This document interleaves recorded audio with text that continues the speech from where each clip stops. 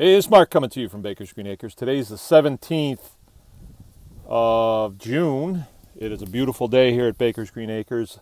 I am uh, out on the back 40 here in my 1957, ooh, see if I show you, my 1957 Jeep.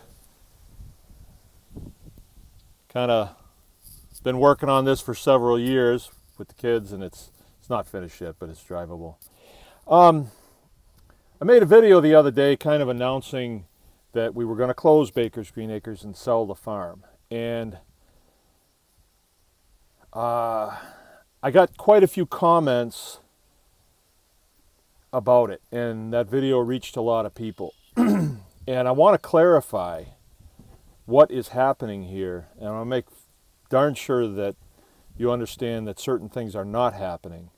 Um, yeah, we did go through kind of a, a rough period with the state of Michigan and uh, the Attorney General's office. We did. And uh, we came through that. And uh, then we continued our business and put the business back together and uh, operated it for a few years. And, and now we've just gotten to a point where we want to make a change and uh, I think that comes as a real shock to a lot of people because they think, well, farm family, you know, you just, that's all you do is you farm. Well, we're actually a military family, and we have been in farming for about 13 years now. And, uh, you know, there's nothing wrong. I mean, we haven't had any contact with any of these organizations. Uh, I think my relationship with them is probably okay. Uh, I think we all learned some things through that. Um, you know, I definitely have thoughts about the people that we should put in and the people we should not put in. Um, and that's a whole different situation. But, you know, there was one comment the government wins again. It's nothing like that. Absolutely nothing like that. I'm leaving Baker's Green Acres on my terms and I'm going on to something else. I kind of threw in there a little bit that I was thinking about getting a shrimp boat and heading down to the Gulf Coast. And that was a reference to Forrest Gump, you know. And he's one of my heroes. He just follows directions, does what he's told, things work out okay. And I think we're all like that in a lot of ways. Um, so there's no hard feelings with anybody over leaving here. Uh, this has been a profitable business. Um, the business has appreciated on schedule, maybe even better. And it's time for us to leave for other reasons. Some of them are personal reasons. Uh, you know, the time in American history is is a big factor in this. Um, a traditional family farm that operates like this, uh, you're up against industrial agriculture. Uh, they want the land, so uh, you know it's nice to want. But if they make it a sweet enough deal for you and they're willing to pay for the land, then then you you're at a place where you have options. So that's that's a good thing, you know. Um, the political process, I mean, we're all watching that happen. And basically what happened to me and my family over the feral swine thing was a political process. And a lot of heads were turned a lot of apple carts were upset, and a lot of it's to the good. Um, you know, you're going into an election now, and you you get to make an informed decision about who you're going to elect for governor based on what you saw when when we went through this whole thing. You know, it wasn't an animal thing; it was a it was a property rights thing. It was a Fifth Amendment thing, and uh, if you don't know about this, you probably need to get informed before you go in there and vote. And the system's good. You vote for the people that are going to work for you the way you want them to work for you. And if they're not, you don't vote for them. But that's a whole different video for another time, maybe. I don't know. Um, so yeah, we're leaving on our terms. Um, and it's not, we're not being forced out or pressured out or anything like that, bribed out, nothing like that. It's a, it was a decision between me, my wife, and my kids uh, that we wanted to make some changes in the way we do things. This has been great. It really has. We've all learned so much through this process. And just to sidetrack a little bit, Uh, the reason I did this was because of a few people that I knew when I was in the service early on. You know who I'm talking about there, Bauman. Uh, guys that I met that were farm kids, when we would be in what I thought were very difficult situations, they'd cock their hat to one side and just get a dumb grin on their face and press on. And we would make it through, and you'd get to the other side and say, wow, that wasn't that bad. These were farm kids because my kids have had to deal with so much. Uh, and then they got the added bonus of you know having the state come down on us with their goons. That was uh, that was a real learning experience. Um, but you know, I don't, I don't want to cast any negative light on the people who were under orders to do what they did. They were not goons. Uh, I've always had a good relationship with the state police. I don't know any DNR people, but I'm sure that they're dedicated to what they do. They were under orders. Uh, their leadership at the time was being swayed by political interests that were way out of line, way, way out of line. And, uh, you know, we could go into that, but I'm not that's not the purpose of this. Um, and our local police have been good, good folks too. Um, anyway, um, so yeah, the farm is for sale. We've already had people look at it. Um, we would like to sell it as a business, a turnkey business, and uh, don't know if that's going to happen.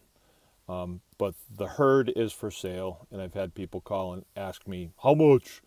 Um, call me on the phone. Call me on the phone and let's talk. Let me find out what you need. I am look, liquidating the entire herd. Mangalitsa business has been really good to us. The pasture poultry business has been really good to us. And if I didn't have something else that I wanted to go on to, I'd just continue to do it. But I got other things that I want to do. Um, most of the people that are going to hear this video are my, you know, my followers from uh, Baker's Green Acres. Anyone can farm, and I'm going to continue that because no matter what I do, I'm going to continue to farmstead unless I unless I get that shrimping boat and head down to the Gulf Coast. But no, we we we always want a farmstead. I think it's a that's really where I got started when I was still active duty. We had a little place and we got some chickens and then we got some pigs and then you know before you knew it we were learning how to butcher our own animals and then we got some cows and we butchered them so we just it was just an experiment really and it became a way of life after a while. And then we when we got out of the service it was well let's do this for a, a living. And uh, it was a, a learning curve because farmers generally are lifelong farmers. You know they learned it from their parents and their parents learned it from their parents. But to get into farming and think i'm going to be a farmer that's like saying i'm going to fly jetliners you know? I think i would like to do that well, there's a learning curve. And I was just ignorant enough to jump into it thinking that, well, I can do this. And, you know, it wasn't easy. It was a learning, a learning process. But I go on to my next thing with all of those lessons learned. So it puts me in a good place. And basically, my next thing is I got to decide what I want to wear to work. You know, do I want to wear a shirt with my name on it? Or you know, do I want to wear a sport coat and tie, or do I want to wear a suit? It it just uh, we'll see, but I'm not making any of those decisions until the opportunities present themselves to me. I'm not really not sure what I want to do. I got a couple things in mind, but I don't know. But the farmstead thing we will do because that's where will be my base of operations, and my uh, my wife and kids will be there. And you know, I got a, like I said, I got a whole bunch of different challenges on this new property that I don't have here. Here I had high fertility because it was a farm. The grass was good, you know, the trees are good. This is a beautiful, beautiful farm. Um, I would hate to see it fall into the wrong hands, but you know, anybody can buy it. Um, the wrong hands, I mean somebody who would abuse it and just tear all the trees out so they can plant corn. And you know, that's what they do here. And we've been here for the last 14 years kind of preserving it, and it hasn't happened. But uh, like when I first got here, um, if you touched any wetlands, they'd be on you like flies on a rib roast. But now they routinely drain wetlands, get those cattails out of there, and it's with the blessing of you know state regulators. So that shouldn't come as any surprise, you know. In what I've found in business is that uh, you use regulations and regulators against your adversaries, and that's what they do. And now the regulations and regulators will be against small farms because it's uh, it's industrial ag's turn, I guess. It's their turn, and I, you know, they haven't really been in business very long since like just after World War II, like the 60s, late 60s. And it's interesting to watch. I don't know where it'll turn out. I see a lot of soil getting blown off, and I see a lot of big equipment and a lot of $10 an hour jobs, but that's about it. We'll see. A lot of fat kids in school. We'll see. Um, but for us, it's a good thing that we're leaving. We are all excited.